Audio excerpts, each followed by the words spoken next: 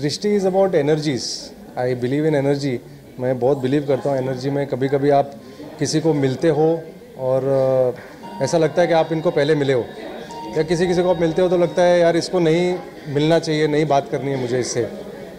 और किसी किसी को आप नहीं, आप जानते भी नहीं हो, बट आपको लगता है, यार, इसके लिए मुझे कुछ करना चाहिए।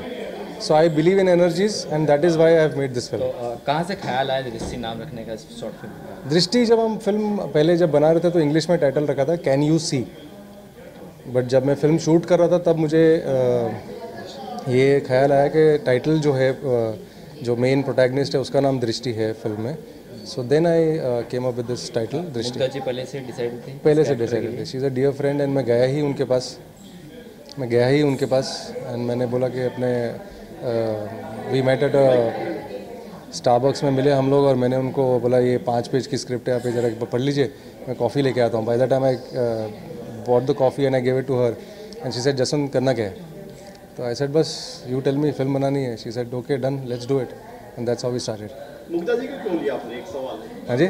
मुग्धा जी को भी क्यों लिया आपने? मुग्धा जी कैरेक्टर में फिट होती है इसलिए उनको लिया।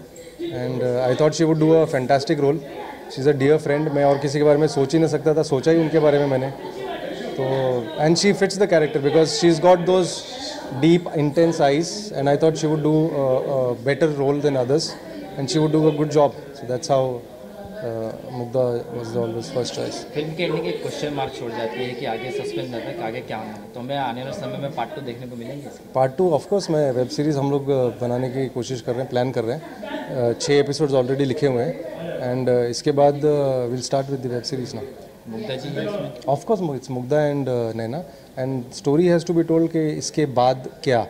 ये जो ख़त्म होती है उसके बाद में जो नैना के फादर हैं जो मुग्धा के बॉयफ्रेंड थे उनके बारे में है। नैना का क्या? मुग्धा का क्या? दृष्टि का। सो so ये स्टोरी आगे की।